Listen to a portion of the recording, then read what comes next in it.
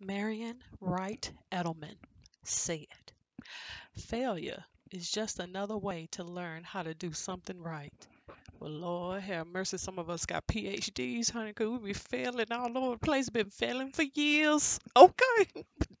but don't you tell nobody I said that. I said that. Okay, bye.